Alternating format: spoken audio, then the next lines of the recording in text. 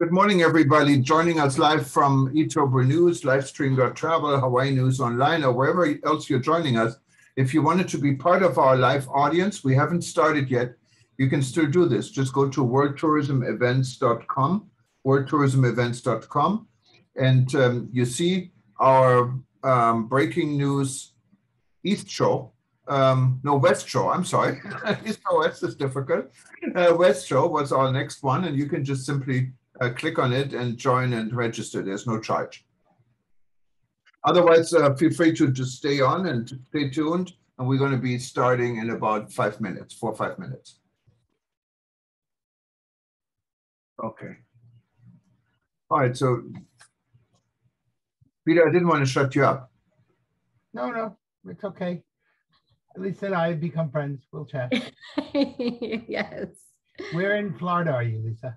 I am in Ormond Beach. I'm just south of St. Augustine and just north of Daytona. I'm right in between. So Yeah. our corporate office is there, and then our lab is in Winter Garden, which is just outside of Orlando. Yeah, I, I, I know Florida pretty well. I mean, not every part of it. My, my parents used to have a, a winter home in uh, Sarasota, which is, Yep, oh, area is just beautiful.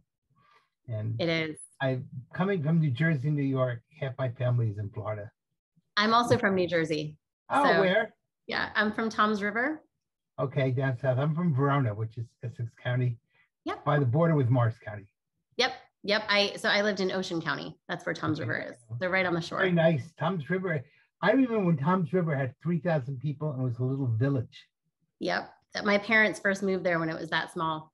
Yes, and it's not Yeah. that way anymore. No, no, it is not. My my dad, you know, grew up in Philadelphia, so Yeah. moving to Toms River, he was just blown away by how small it was. Yeah, yes. so it's Yeah, grown quite a bit. New Jersey are really great, though. I, I'm still a loyal New Jerseyan. Yes. Oh yeah, me too. Absolutely. I'm excited. I think I'm going to be going up to New York in a couple of weeks. Um, so I'm really excited to get back up home. Yes, yes, I Yeah. understand. Yeah. How long have you been in Texas? Uh, I came in 1982, so Okay. 92, 22, t- almost 40 years. Wow. Yeah, so it's it's been a long time since I've been here. I kept my New Jersey accent, uh, but I guess the rest of it is, is Texanized. Um, Yeah. But- yeah, I lived in Colorado for about six and a half years in my 20s. Um, my Jersey accent is it's diminished greatly until I get upset about something, and then my Jersey accent Yeah, comes I'm out pretty strongly. people now ask me where I'm from, and then the two times it comes back is if I'm upset or if I'm in New Jersey. and yes, then all of a sudden, people say, "Oh, how long are you going to visit Texas for?" And I go, "Well, I actually live there." And they go, "But you sound like you're from here." I go, "Well, I am from here." and it all just comes flooding back the second you're around all of your old friends. Yeah. Absolutely. Yeah, I get the same thing. My husband doesn't recognize me when I go back home because my my accent comes out so much more thickly than it is all, all the other Yeah, I tell people the only place in the world I don't have an accent is Newark Airport. That's hilarious. And I still, and I'm like Leif Erikson, you know, when he told, every, he changed the name of Iceland was the good country and he made it Iceland, and Greenland was a terrible country, so I made it Greenland, so people wouldn't come to the good country. So I tell New Yorkers, you'll hate Newark Airport. LaGuardia is so much better. Go to LaGuardia. All right, wh- while we're discussing New Jersey and Colorado, just uh, for everyone who's joining us on eTurbo News live right now, I see there are quite a few of you. Just feel free to join our live audience. You can still do this in going to worldtourismevents.com, worldtourismevents.com, or if you are on eTurbo News, uh, just click on I'm so sorry. just uh, just click on the uh, event page, and you can still sign up and be part of the live audience. Thank you.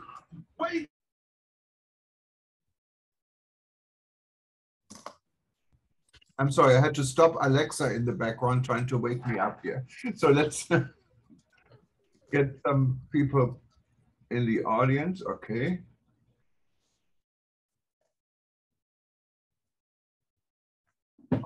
Wonderful. Okay, so we get some people joining us here. Good morning. We're just about to start in about four five minutes. Uh, no, I'm sorry, in two minutes, one minute. in five seconds. Okay.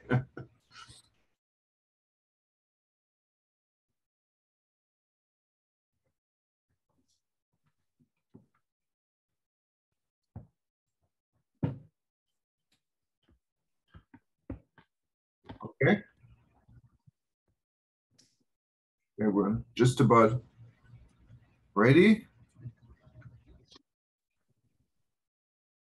Everyone on social media and eTurbo News, one last call. If you wanted to join our live audience, you can do this. Just click on events on the bar above you or go to worldtourismevents.com. You can still sign up and ask questions. Otherwise, uh, we're just about to start. You can just stay tuned where you are.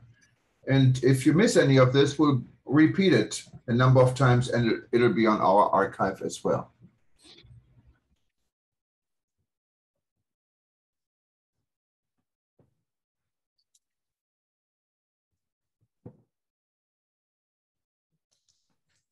I think we're ready. Good morning, aloha from Hawaii. My name is Jürgen Steinmetz, joining you from eTurbo News, World Tourism Network in Honolulu.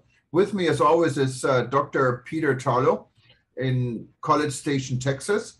And we changed our format, so we're now actually live and we have a guest, um, Lisa Wilson. We will introduce Lisa in just a minute. And before we do this, as we always do, we're going to start with the weather. I can tell you it's early morning here and it's beautiful blue sky. Um, I can, it's going to be a nice beach day here in Hawaii. How's everything in Texas, Peter? Well, we're having typical Texas summer weather. Um, so right now it's mid-afternoon and it's warm. It's not too bad. It's between 95 and 100, which is pretty typical for Texas, though we are expecting the possibility of an afternoon shower. So, um, but you know, this is life in the tropics, so you got to kind of expect that. Yes, and there's a lot going on in this world. And uh, Peter, maybe if you want to, you're ahead of me with the time a little bit, uh, summarize what are the most important items before we go to Lisa. Well, of course, um, is going to be speaking with us uh, very soon, but the number one topic, of course, is the um, number of Americans uh, from the U.S. perspective who are caught in um, Afghanistan. They just had a news conference with the um, Department of uh, Defense, and that was kind of a semi-disaster when they admitted they don't know how many Americans are there, and that's created somewhat of a problem. Uh, the French are going house to house to try to find French citizens, but um, the US does not yet seem to have a plan for evacuation.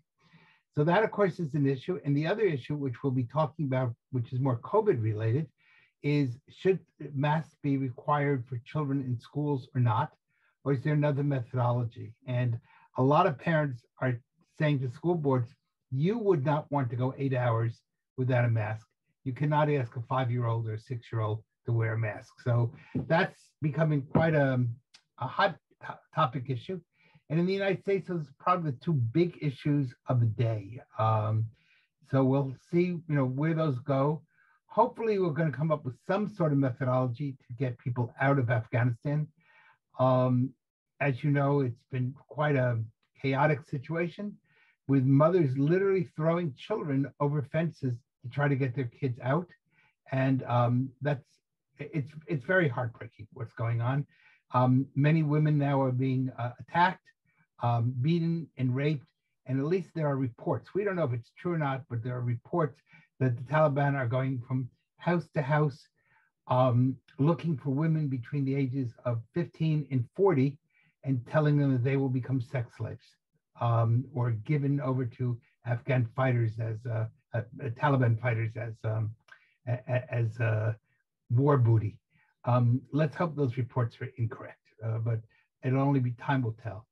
So I think from that very quick, uh, tragic kind of summary, we want to really jump into the whole issue that Lisa's going to be speaking about. And um, Lisa, maybe uh, unless you and you wanted to give a formal presentation, maybe we can let Lisa just present herself and tell us the topic of the day. I think that's a good idea. And we're going to talk about testing. And testing is such an important issue. We're all talking about the vaccine. We're talking about booster shots, how we protect ourselves. And we have participants and viewers from all over the world. So it's a, it's a global issue, obviously, and um, finding out how you can best actually prepare yourself. You, should you get the shot? Should you get a booster shot? And and I think um, Lisa's company came with some additional information that might be useful for someone to make this decision and actually help um, to go through the testing process and see what tests make sense and others may not make so much sense. But Lisa, you can probably explain this quite a bit better than I can. And uh, welcome to the show. Thank you so much for having me. Begin, I just going to have one request that I know that lots of people are asking, and that is if you could talk about the interrelation between your testing process and children, and would this be a way to deal with, say, the mask issue in the schools? So, yeah. if, during your chat, if you could bring that up, I know there are a lot of people very interested in it. They've indicated to me they'd like to hear you speak about that, if, if possible. Thank of you. Course. And I should say that Lisa and I are both fellow New Jerseyans. So by definition, she's great. That's fantastic. Thank you so much for having me today. Um, this is such a, a, timely topic, so I appreciate the opportunity to speak on it. Um, my name is Lisa Wilson. I am the CEO and co-founder of Epitome Risk Solutions. We handle dynamic risk as well as COVID compliance for TV and film, professional sports, and live events. We have also started our own clinical lab called Fourth Wall Testing, where we have done point of care COVID testing for TV and film. And we have had the extreme privilege of partnering with an immunologist by the name of Dr. Marvin Hausman, who has introduced us to GenScript, which is a biotech corporation uh, that has designed a test that um, verifies your level of protection post vaccination or post previous infection. So this new test is, is groundbreaking and we have been able to develop it into an at-home test that's just a quick finger prick that you're able to just take a small blood sample and send it back to our lab to have results within 24 to 48 hours. And, and but what, what is different between this type of test? There's a lot of tests, for instance, they're instant tests. You can get back within minutes. I, I remember when I went to Europe about a month or two ago, um, every restaurant you wanted to go to, if you're not vaccinated, um, you literally get a test literally in front of the restaurant and you get a result. Um, now you t- it's talking about 24, 48 hours, what is more like a PCR type test. So this is yeah, so this is not a PCR test. So PCR testing and some of those rapid tests that you receive in public are for active infection. They detect whether or not you have COVID in your system at that time. Those are very reactive tests. And the, the issue with those tests is you have to have a certain level of viral load in order to register as positive. So, so many people are passing through those tests that are contagious and actually do have COVID, but they're testing negative and being admitted into these events, uh, which can cause greater issues. Our test measures your level of protection post vaccination. So, what it does is it allows you that peace of mind in knowing that you can go out in public and feel better protected from contracting the virus, regardless of what's going on around you. So, our test is more proactive um, and theirs is more reactive if you're doing a PCR live um, live virus test. And, and you're, I was, uh, sorry. I'm sorry, Jürgen. Mm-hmm. Oh, go ahead. I was, uh, I was just um, in Israel, and one of the things that we had to do was take a serology test, and what yes. they measured was um, the amount of antibodies we had in our system and our ability to fight off um, COVID. How is yours like or different from a serology test? That's an excellent question. So ours is a serology test. It is a, just a more specific serology test than what they are offering um, outside of, of our test. So that test that you took when you were in Israel um, was probably more of a standard antibody test, like you said. So when you are exposed to the vaccine or a potential infection with COVID, your body creates all different kinds of antibodies to attack different parts of the virus. It's similar to throwing darts at a dartboard blindfolded. Your immune system just kind of hopes something works. So those antibody tests measure all of the different types of antibodies. Ours only measures what hits the bullseye on the dartboard, right? So the very specific antibodies that are neutralizing antibodies. And what that means is when you're looking at the virus, you see those little red spikes that come out. You know, we see those pictures everywhere now, right? I mean, I think we're all, we could probably see the COVID picture in our sleep. Those little red spikes that come out, um, the neutralizing antibodies attach to those those little spikes and they block those spikes from attaching to your cells which is what causes infection so it blocks the infection from happening so our test only measures how much neutralization you have from your antibodies um, so it's it's de definitely something you should do parallel with any other test or is it something you, what would replace a regular test so where it's important is, you know, if you are if you are vaccinated, it's not enough to just say I'm vaccinated, I'm good.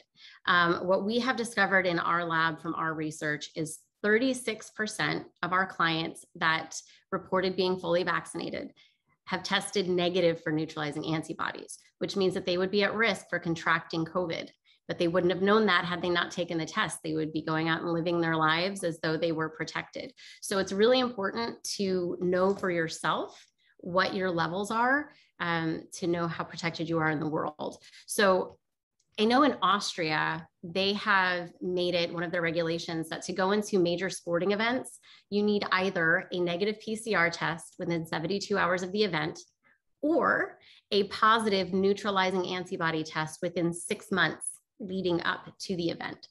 Um, we are finding that, you know, testing every like three to six months, depending on what your neutralization level is, um, is sufficient to, to forecast your protection level during that time. That, of course, is interesting. So you don't have to do tests twice a week or every week. I know if you wanted to get a job like here in Hawaii and work for the state and you're not vaccinated, you have to get a test twice a week. With your test, you only have to get it like once every three to six months. Wow. Yeah. Yeah. Well, so how would that impact the tourism industry? Because one of the things we do is we talk about tourism all the time. And for example, if I have to go from one country to another, three countries, yeah. I got to carry testing with me so yeah. that I can keep getting on the plane. Would this be some way of showing a airport that, you know, I'm good to go for the next three or four months. Yes, that would be, we're, we're trying to move in that direction um, to have that be more widely recognized because it really isn't enough that that negative PCR test doesn't do what everyone's hoping it will do. Because like I said earlier, you can test negative on a PCR and that's just because your viral load wasn't high enough to register as positive, but you could still be contagious. Um, so it's, it, the thing is, everyone's missing the mark a little bit by doing vaccine passports and requiring vaccinations. I, I, understand and appreciate the thought behind it. However, there is another step in that process, and that step is did you have the appropriate immune response to not get sick? That's the part that we're missing in this whole process right now. And that's what this test provides. And of course, this is this is quite interesting. I mean, from our organization, the World Tourism Network, uh, we had been discussing this issue with the World Health Organization, with governments around the world, in how to do it.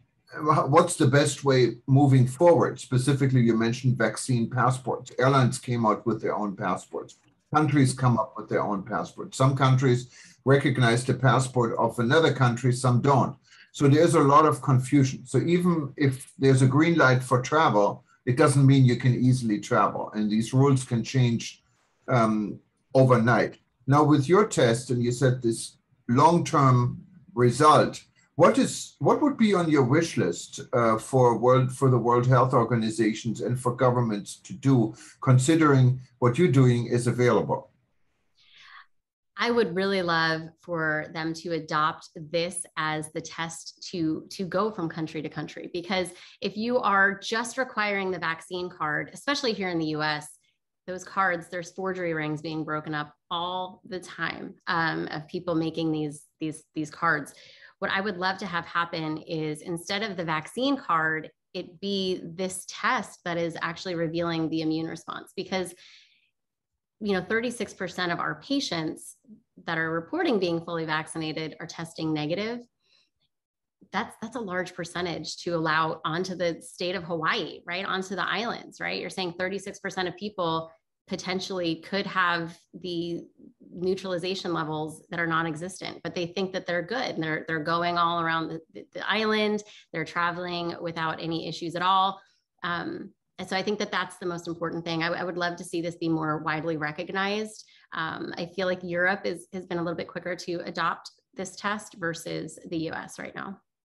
Now when let's, let's tended to be behind in a lot of medical things yeah, let's go go for the example you mentioned Hawaii. Um, and Hawaii is not different than any country or any other state, but we're an island, so we, we have better ways of protecting ourselves being on an island.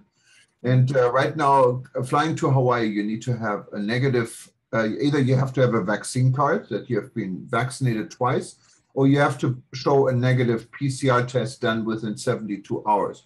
Now, with your test, you're saying the test is good for six months.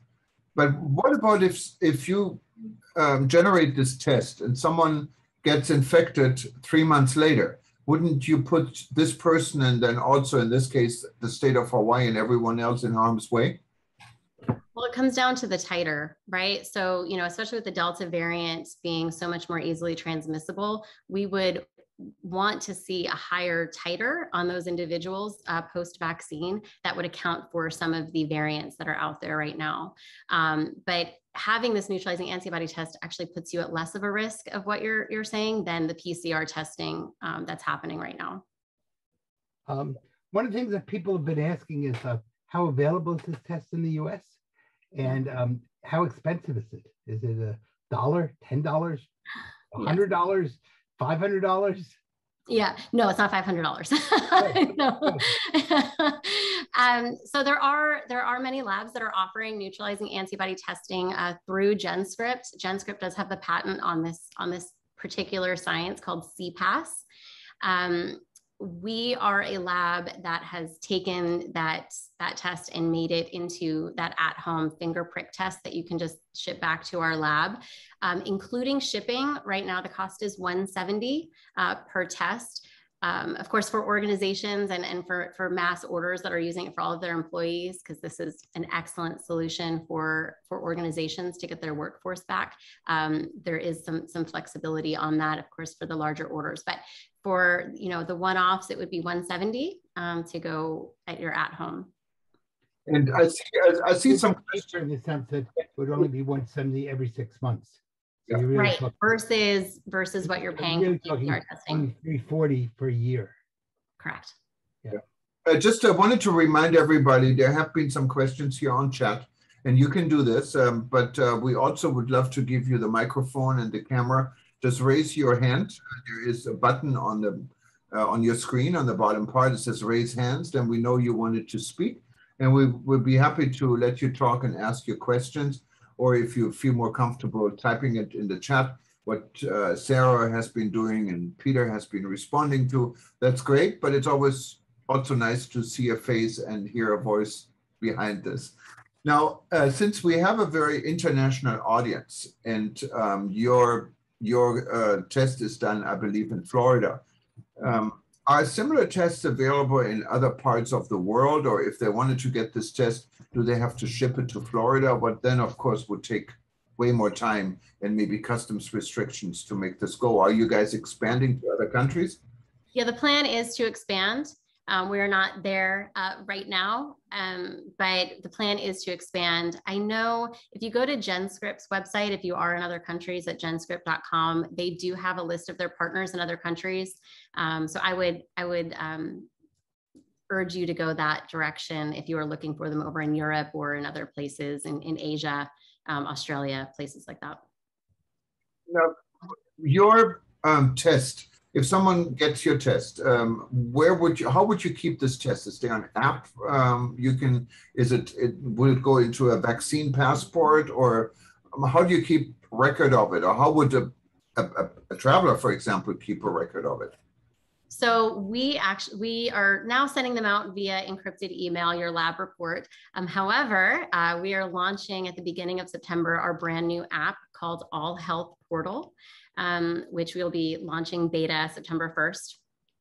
And from there, you would be able to get your results immediately right on your phone and be able to keep all of your lab results there. So that way you can have your results chronologically. Um, it also is available for employers who are looking to um, track the results of their employees via, you know, HIPAA waivers that are signed by the employees here in the US and that way they can track the results to get people back to work safely. So we have a dashboard for employers to be able to track those things, and then we have dashboards for individuals so they can see the chronology of their results.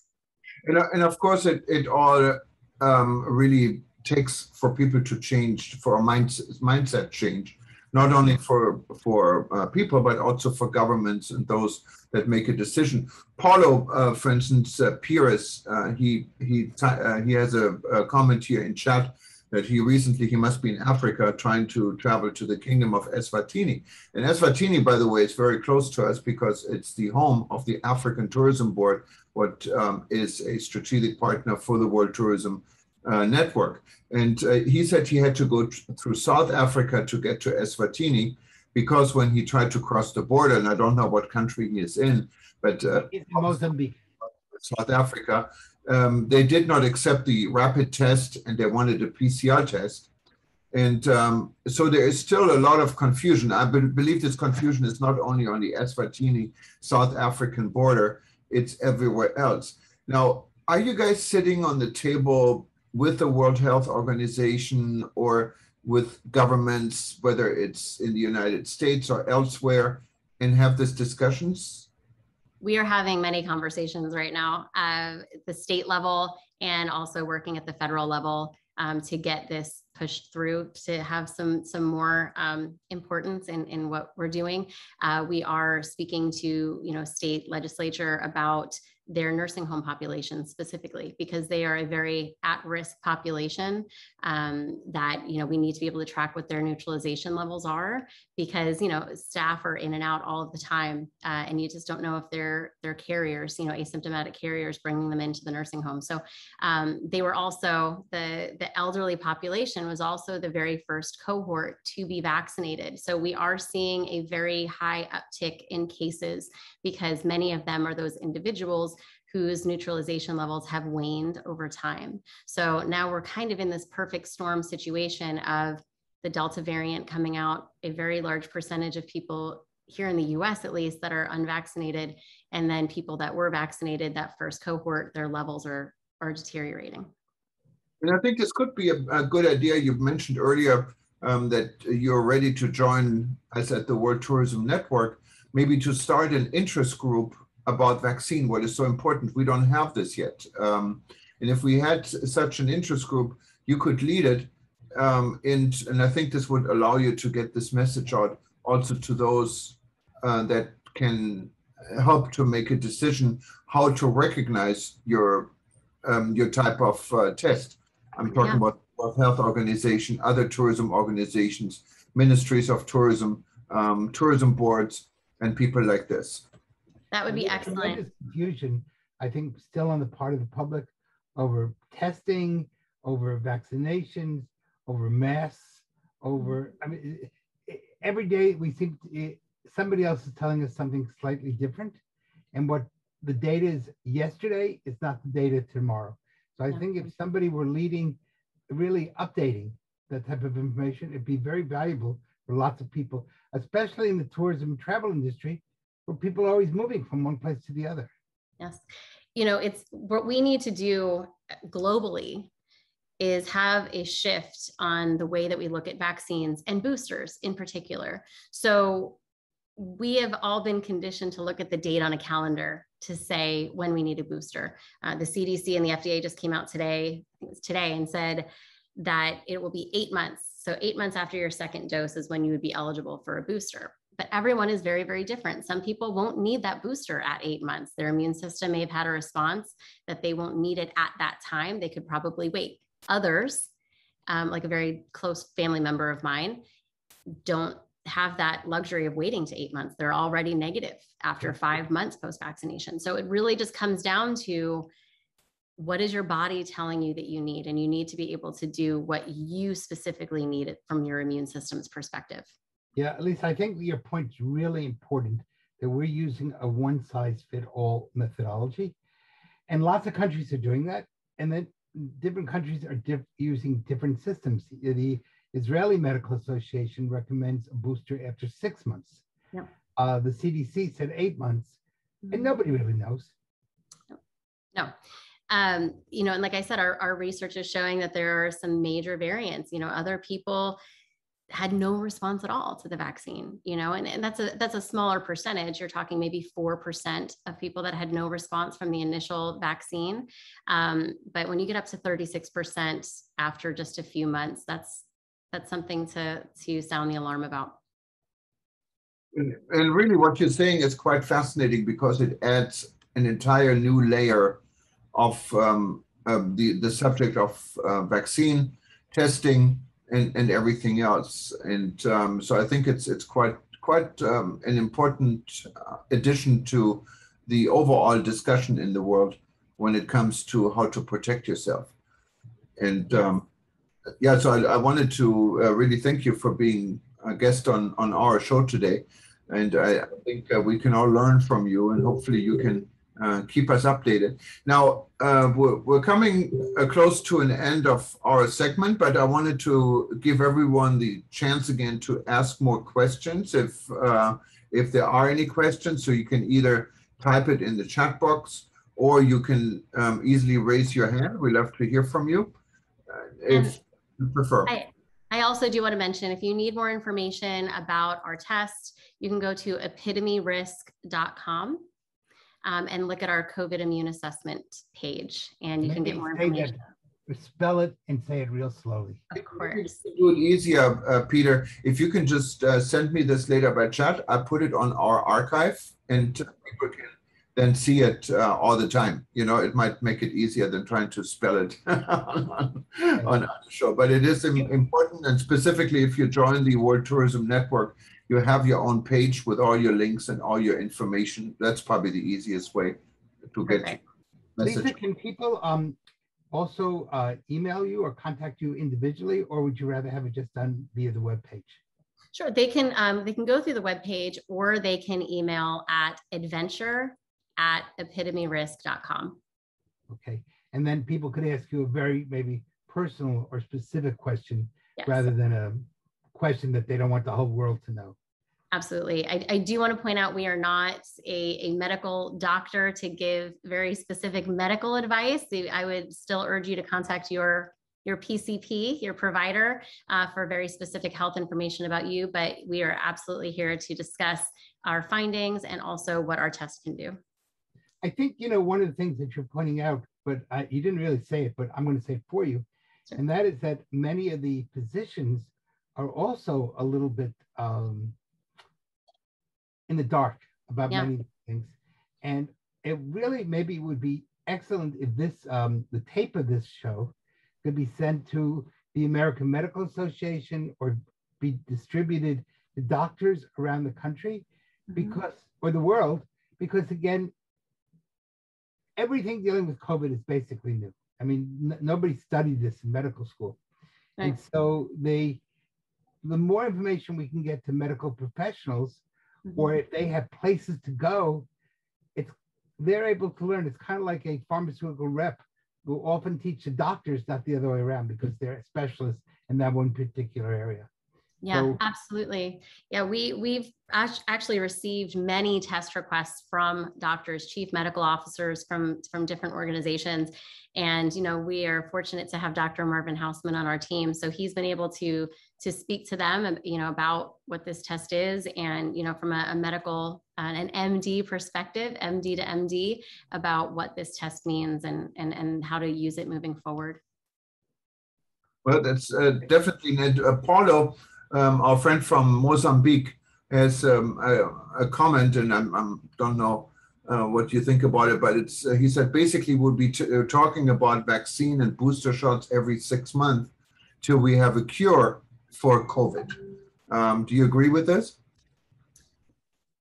I our our study is finding that yes, we will need booster shots um, pretty frequently. Um, and but everyone will be different. You know, for me personally, my my uh, neutralization level is about 95% right now, and I was vaccinated in in March.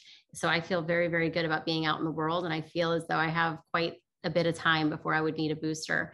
Um, it'll be interesting to see what happens after this first round of boosters go out. Um, I know Pfizer is touting that your titer will go up 10 times higher than it was from the second dose. So it will be interesting to continue the studies in that arena to see where it goes from there. Now, I'm wondering about is some states like New York or New York City now require um, basically a vaccine passport. Yeah. So if you're going into a restaurant or into um, anything, any closed space, you have to have proof of vaccination. But on some level, what you're pointing out is that we both could have been vaccinated on the same day, but we may have very different results. Very So different. basically, on some level, what you're indicating is those vaccine passports are kind of silly, or they are superficial at best, and that we're going to need to have some sort of other indication to level to indicate more by the individual rather than one size fits all. And I don't know if you have any comments about the vaccine passports, um, but I think you're making a really strong point that you know we have to think about: Do we really want these? Are these smart? Are these stupid? Or are these kind of productive? I believe that they are. I, I, definitely wouldn't say that they're silly. I think that they're a step in in the right direction, and I think that they're.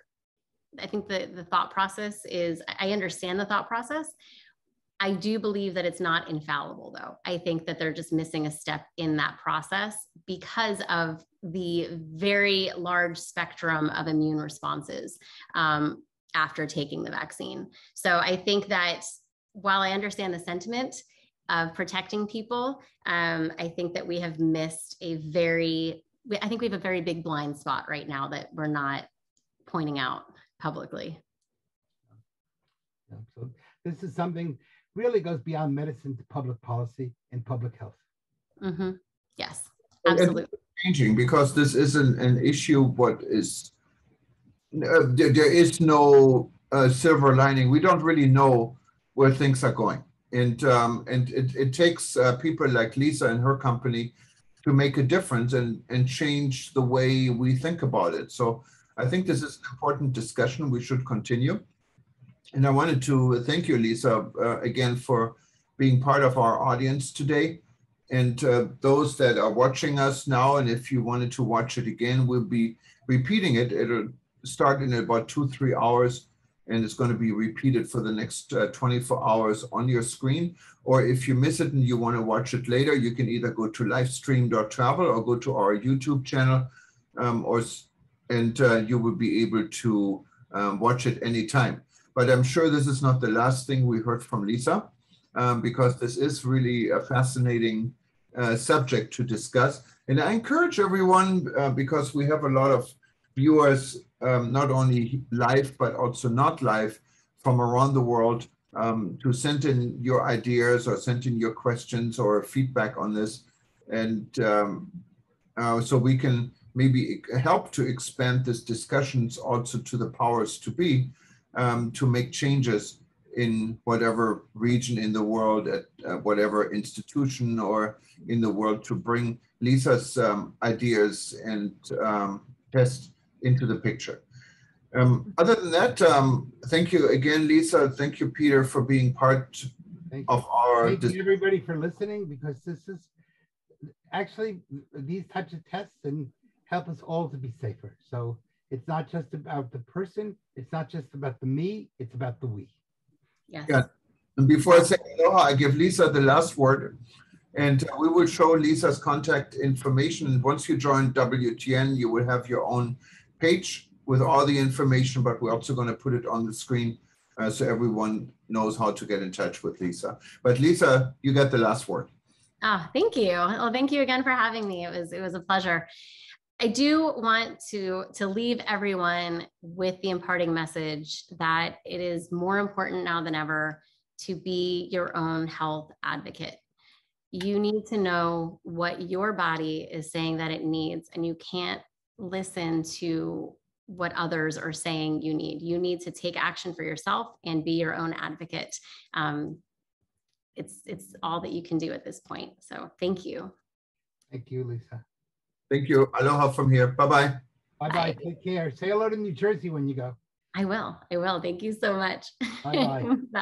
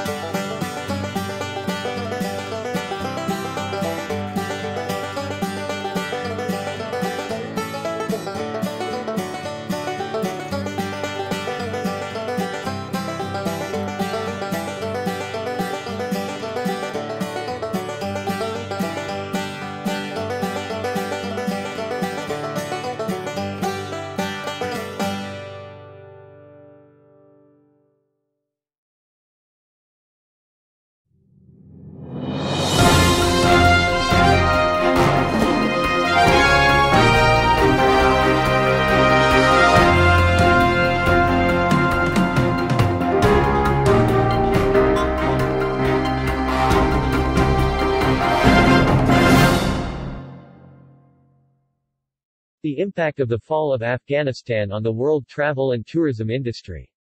World Tourism Network President Dr. Peter Tarlow is a global expert in the travel and tourism industry. Having Kabul fall into the hands of the Taliban is a major worry also for the global travel and tourism industry and World Tourism Network members in 128 countries. There can be little doubt that historians will debate the follies of both U.S. and European policies vis-a-vis Afghanistan for decades to come. Multiple nations have attempted to subdue Afghanistan, from the ancient Chinese to the British, from the Russians to the Americans. In all cases Afghanistan has lived up to its reputation as the graveyard of empires. The recent fall of Kabul is only the latest in Western failures and from a geopolitical perspective this defeat's impact will be felt for years or decades to come. It should not be surprising to anyone that the impact of events during the last few days, starting on August 14, might well also impact the world of tourism in ways not yet understood or assimilated by tourism industry officials. The former president of Afghanistan took as much money as he could before he fled his country, and hours before the Taliban were able to stop him. Him and his family is now safe in Abu Dhabi and was welcomed in the United Arab Emirates, a major travel and tourism destination on humanitarian grounds. This now completely destroys the fragile structure of security the Western world had constructed in Afghanistan. Yet despite the fact that there is much we will need to learn about the latest Afghan debacle it is important that political experts, public policy officials and tourism scientists develop an understanding of how a relatively small and poor nation has played, and might in the future continue to play, such a major role on the world stage and also in world tourism. To understand what the Kabul debacle means we need to examine the country both from a geographic and historical perspective. Real estate agents often cite the refrain that there are only three words that determine the value of a piece of property. These words are location, location, and location. In other words, in the world of real estate, location is everything. To a great extent, we can say the same thing about nations. Much of a nation's destiny is determined by where it is located in the world. For example, the American nations, and the United States in particular, have had a huge advantage in that they are separated from Europe by an ocean. The United States' lack of hostile borders has meant that the U.S. has had the luxury of what we might call splendid isolation. Its natural borders, as distinct from many European nations that live with multiple borders in relatively close proximity, served not only to protect many of the American nations from military invasions but until the onset of COVID also from medical illnesses. Although the late 20th century and the 21st century have seen a decline in this geographic advantage due to mass tourism and the current U.S. administration's lack of desire to protect the U.S. southern border, the principle still holds true. Canada has had the advantage of having a long peaceful border with the U.S. which has permitted Canada to expend minimal resources on military defense. Afghanistan is a completely different situation. This landlocked nation is in the heart of what historians call the Silk Roads. To a great extent these are the lands in the heart of the world, and it is in these lands that much of the world's economic history has occurred. Afghanistan not only sits in the middle of the Silk Roads, but the nation is also incredibly rich in mineral resources. According to Peter Frankopan citing the U.S. Geological Survey reports that Afghanistan is rich in copper, iron, mercury, and potash. The nation also has major reserves on what is known as rare earths. These earth include lithium, beryllium, niobium, and copper. With the fall of Kabul these rare minerals and valuable substances are now in the Taliban's hands and these mineral have the potential to make the Taliban incredibly rich. We should not be surprised if the Taliban do not use this economic windfall as a way to further their stated objective of creating a worldwide Islamic caliphate. Few Westerners and even fewer tourism officials understand the value of these rare earths and minerals and the fact that China also possesses large quantities of many of these substances. We use these substances in everything from computer production to talcum powder. This control over rare and necessary minerals and rare earths means that a Taliban-Chinese alliance becomes a new challenge for Western nations and by extension their tourism industries. Kabul's fall also has a political prices. Its conquest greatly increases not only the Taliban's prestige but that of numerous other terrorism and insurgency groups around the world. From this perspective the conquest of Kabul, and by extension Afghanistan, is a symbol for anyone who opposes European and American influence and power of what they perceive as the West's long road to self-destruction. This symbolism is especially powerful as the Taliban captured Kabul just a few weeks prior to the 20th anniversary of September 11, 2001. The fact the Taliban flag now flies over the former U.S. Embassy speaks volumes to people throughout the developing world. The symbolism throughout much of the Middle East and the nations of the Silk Roads could not be more poignant. Due to the United States and its allies abandoning the Bagram airfield some of 20 years after the attacks on New York and Washington, Westerners, and their Afghan allies are reduced to imploring the Taliban for safe passage to the only airport out of which they can fly to safety. Tourism has long been an industry in which many women have held prominent positions. Women in a Taliban-dominated Afghanistan are sure to lose even their most basic rights. Women's groups around the world not only worry about the safety and freedom of Afghan women but also have noted the silence of the first U.S. female president. As of August 19, Vice President Harris has not made a public pronouncement regarding the state of insecurity in which millions of women now find themselves. From the perspective of the United States and Europe the fall of Kabul could not have come at a worse time. Western national economies are reeling from the effects of the COVID-19 pandemic. The United States, and much of Europe, is suffering from inflation caused by overspending. This overspending first occurred during the Obama administration, then continued during the Trump administration and has now greatly increased during the current Biden administration. The fact that the United States is spending trillions of dollars of money that it does not have means that the nation is less able to deal with international crises and potential military threats. Additionally, the woke cancel culture, seen in much of the world as mere political rot or social decay, means that the West's focus is on inconsequential internal matters rather than on economic and political threats. Perhaps nothing speaks to this internal weakness and its impact on tourism more than the U.S.-Mexico border crisis. This crisis should not be seen as separate from the fall of Kabul. As perhaps almost 2 million illegal immigrants cross the U.S.-Mexico border, the nation's border patrol is overwhelmed and understaffed. Not only do refugees cross this border but many of them are ill with COVID and none are vetted. How many coming into the U.S., and now once again Europe, may be stealth terrorists is unknown. As crime increases tourism will once again suffer. Border control agents may also feel the impact of COVID-29. Many of whose agents are now sick with COVID. What we do not as yet know is how many unvetted migrants may also be part of terrorist sleeper cells that can be turned against nations in Europe and the United States and creating another 9-11 tourism crisis. Possible implications of the Taliban's takeover of Afghanistan. It is of course too soon to realize the full extent of the consequences of the Taliban victory not only on world politics but also on tourism. We should remember that tourism is a byproduct of world's political situation. Although tourism promotes peace, it also needs peace in order to thrive or merely survive. Wars, human rights violations, illnesses, and natural disasters all dissuade visitors from coming to a specific location. Below are some of the things that the tourism industry might expect from the poorly executed U.S. withdrawal from Afghanistan. Although few would argue that after a 20-year war and the loss of trillions of dollars and thousands of lives it was time to leave, the U.S. withdrawal's poor execution will be seen as American weakness and ineptitude around the world. Major politicians from U.S. allies such as the United Kingdom and Germany have called this NATO's greatest military defeat and wonder about the U.S. resolve to be a world leader.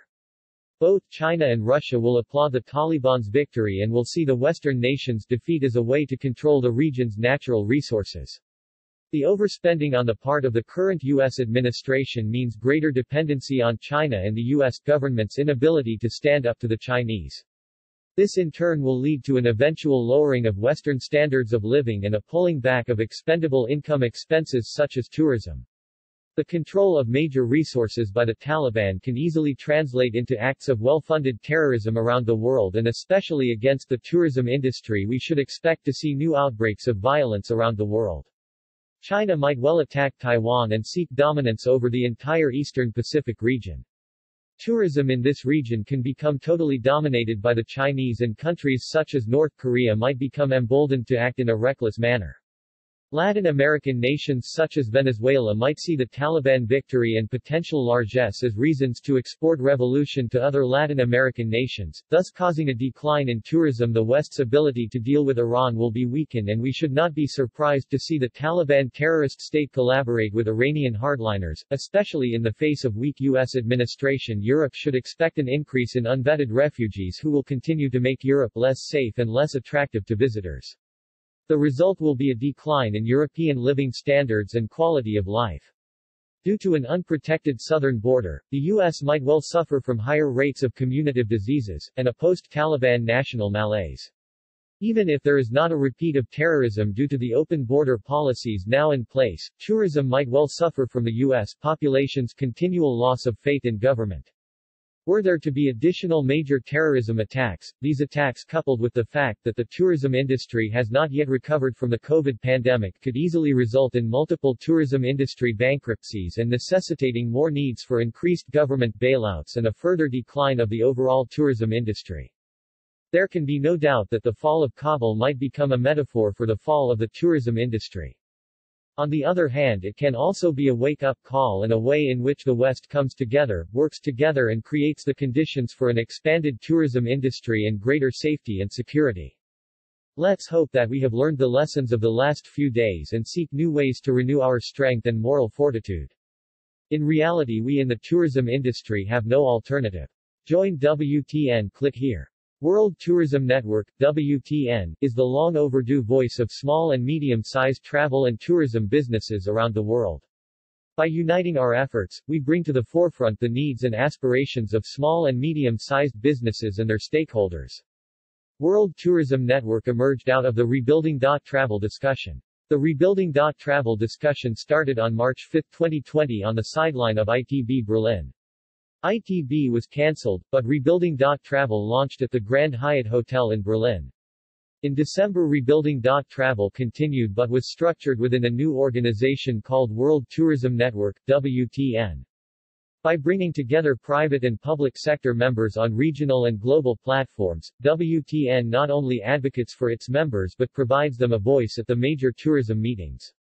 WTN provides opportunities and essential networking for its members in 128 countries. More information including membership in World Tourism Network visit www.wtn.travel.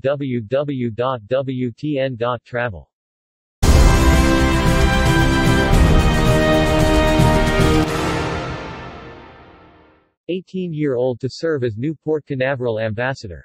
At an August meeting of the Canaveral Port Authority Board of Commissioners, Port Commissioner Robin Hadaway announced the appointment of Rockledge High School graduate Jessica Maxwell as Port Canaveral Ambassador to serve as Commissioner Hadaway's delegate in the port community.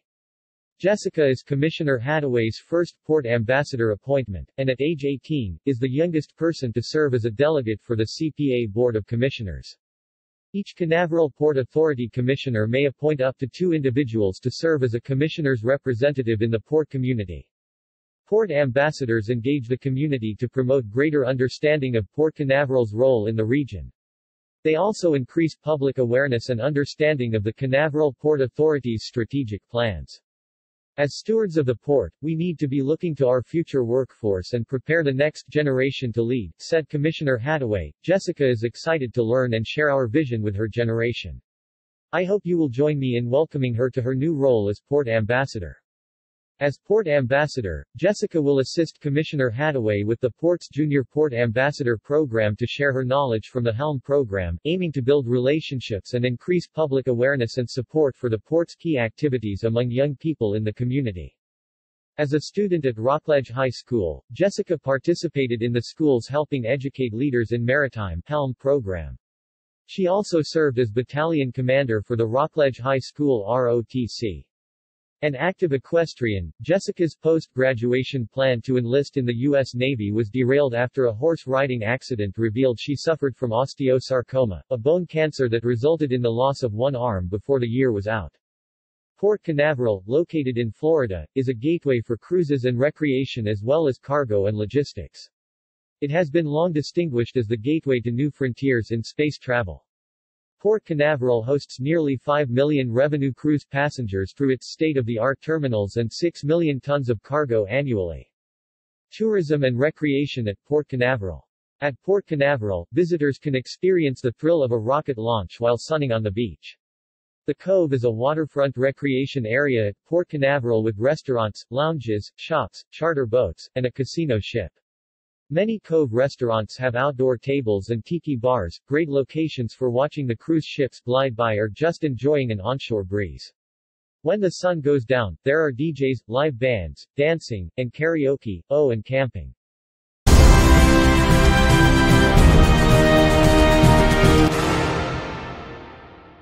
IATA Travel Pass recognizes EU and UK digital COVID certificates. EU Digital COVID Certificate DCC, and UK NHS COVID Pass can now be uploaded into IATA Travel Pass as verified proof of vaccination for travel. IATA OAKS EU Digital COVID Certificate DCC, and UK NHS COVID Pass. Handling the European and UK certificates through IATA Travel Pass is an important step forward. Harmonization of digital vaccine standards is essential to support the safe and scalable restart of aviation. The International Air Transport Association IATA, has announced that the EU Digital COVID Certificate DCC, and UK NHS COVID Pass can now be uploaded into IATA Travel Pass as verified proof of vaccination for travel. IATA Travel Pass recognizes EU and UK digital COVID certificates. Travelers holding an EU DCC or UK NHS COVID pass can now access accurate COVID-19 travel information for their journey, create an electronic version of their passport and import their vaccination certificate in one place. This information can be shared with airlines and border control authorities who can have the assurance that the certificate presented to them is genuine and belongs to the person presenting it. COVID-19 vaccination certificates are becoming a widespread requirement for international travel. Handling the European and UK certificates through IATA Travel Pass is an important step forward, providing convenience for travelers, authenticity for governments and efficiency for airlines, said Nick Careen, IATA's Senior Vice President for Operations Safety and Security. Harmonization of digital vaccine standards Harmonization of digital vaccine standards is essential to support the safe and scalable restart of aviation, avoid unnecessary airport queues and ensure a smooth passenger experience. IATA welcomes the work done by the EU Commission in developing, in record time, the EU DCC system and thereby standardizing digital vaccine certificates across Europe. Building on the EUDCC success, IATA urges the World Health Organization WHO, to revisit its work to develop a global digital vaccine standard. The absence of a global standard makes it much harder for airlines, border authorities and governments to recognize and verify a traveler's digital vaccination certificate. The industry is working around this by developing solutions that can recognize and verify certificates from individual countries. But this is a slow process that is hampering the restart of international travel. As more states roll out their vaccination programs, many are urgently looking to implement technical solutions to provide vaccine certification for their citizens when they travel. In the absence of a WHO standard, IATA urges them to look closely at the EUDCC as a proven solution that meets WHO guidance and can help to reconnect the world, said Karine.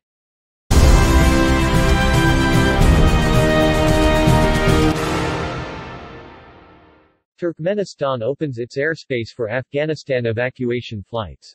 In this situation, fulfilling its international commitments, including those arising from international humanitarian law, Turkmenistan will provide its airspace for the carriage of these persons by the planes of foreign states. On August 15, Taliban entered Kabul and established full control over city. Western countries are evacuating their nationals from Afghanistan. Turkmenistan allows Afghanistan evacuation flights to pass through its airspace. The press office of the Foreign Ministry of Turkmenistan issued a statement today announcing that Turkmenistan's government has made a decision to open the country's airspace to evacuation flights flying foreign nationals out of Afghanistan. Turkmenistan opens its airspace for Afghanistan evacuation flights. As is known, some countries have started to evacuate their citizens located in Afghanistan. In this situation, fulfilling its international commitments, including those arising from international humanitarian law, Turkmenistan will provide its airspace for the carriage of these persons by the planes of foreign states, the Foreign Ministry's statement said. On August 15, the Taliban radical militant group entered Kabul without any resistance and established full control over the Afghan capital within several hours. President of Afghanistan Ashraf Ghani has fled the country, allegedly taking $169 million of state treasury money with him. Since then, Afghanistan's Vice President Amrullah Saleh declared himself as the country's caretaker president, calling for armed resistance to the Taliban. Western countries are evacuating their nationals and embassy staff.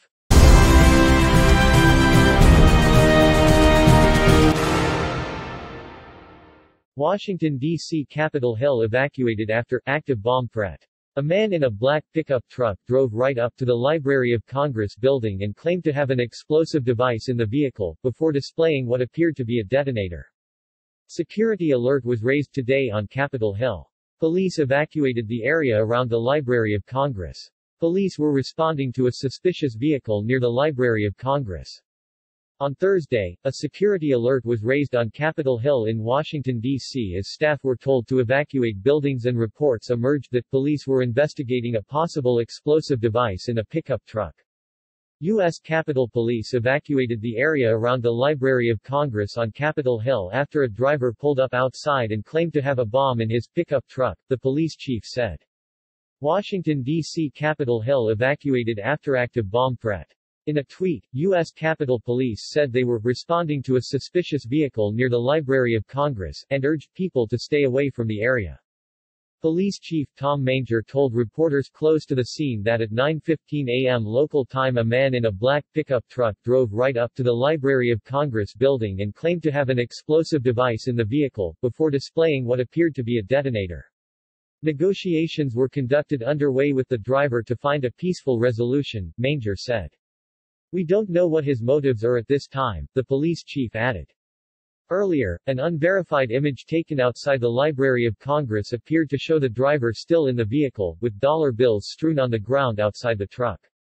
The suspect also allegedly posted a now-deleted livestream filmed while sitting behind the driving seat inside the parked vehicle, in which he addressed U.S. President Joe Biden and claimed to have a number of bombs. Part of the footage appeared to show what looked to be a gas tank, plastic explosives and several large tubs of loose change in the truck. He said the alleged explosives in the truck were rigged to only be detonated by a loud enough noise, such as the windshield of the truck being shattered by gunshots. The man also alleged that there were four other explosive devices in undisclosed locations, claiming that others had transported them separately. Facebook subsequently locked the account of a user called Ray Roseberry after the 30-minute livestream. Footage shared online showed scores of law enforcement vehicles, including specialized emergency response team trucks, heading into the restricted area. In TV footage, police were seen cordoning off the area, with barriers raised to restrict access. According to the latest U.S. Capitol Police report, the suspect has finally surrendered to officers.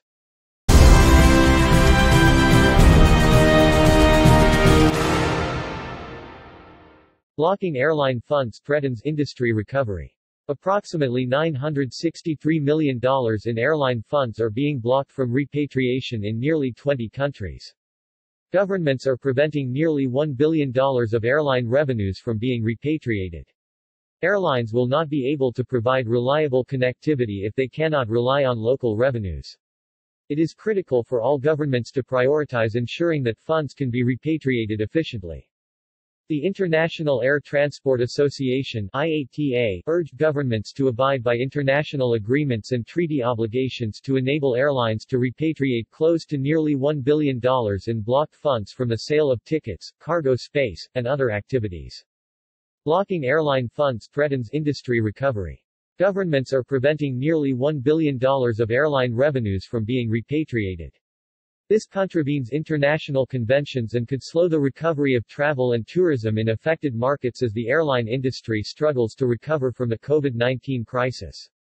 Airlines will not be able to provide reliable connectivity if they cannot rely on local revenues to support operations. That is why it is critical for all governments to prioritize ensuring that funds can be repatriated efficiently. Now is not the time to score an own goal by putting vital air connectivity at risk, said Willie Walsh, IATA's Director General. Approximately $963 million in airline funds are being blocked from repatriation in nearly 20 countries.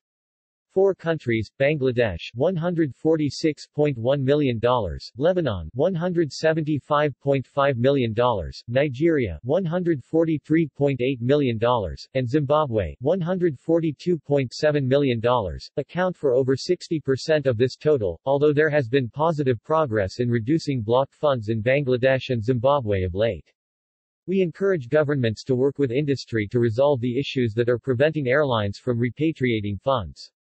This will enable aviation to provide the connectivity needed to sustain jobs and energize economies as they recover from COVID-19, said Walsh.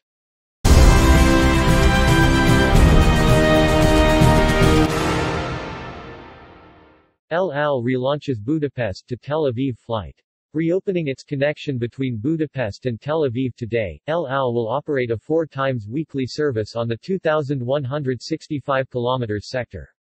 El Al returns to Budapest Airport. Israeli flag carrier resumes Tel Aviv services from Budapest. Budapest-Tel Aviv flights will operate four times weekly. Budapest Airport's route network resumption continues with the return of the Hungarian Gateways airline partner, El Al Airlines. El Al relaunches Budapest to Tel Aviv flight. Relaunching links to Tel Aviv, the Israeli flag carrier will once again significantly expand the airport's operations to the Middle Eastern country. Reopening its connection between Budapest and the city on the Mediterranean coast today, the carrier will operate a four times weekly service on the 2,165 km sector. Balázs Bogáts, head of airline development, Budapest Airport said, We're so pleased to see El Al return Budapest is one of the top destinations for Israeli travelers, so we know this service will be in high demand. Budapest has a large Jewish community and, indeed, the Great Synagogue of Budapest is the second largest synagogue in the world. We are, therefore, confident that El Al's resumption of services from Tel Aviv will be popular both with tourists and with travelers who are visiting friends and relatives. El Al Israel Airlines Limited is the flag carrier of Israel. Since its inaugural flight from Geneva to Tel Aviv in September 1948, the airline has grown to serve over 50 destinations, operating scheduled domestic and international services and cargo flights within Israel, and to Europe, the Middle East, the Americas, Africa, and the Far East, from its main base in Ben Gurion Airport.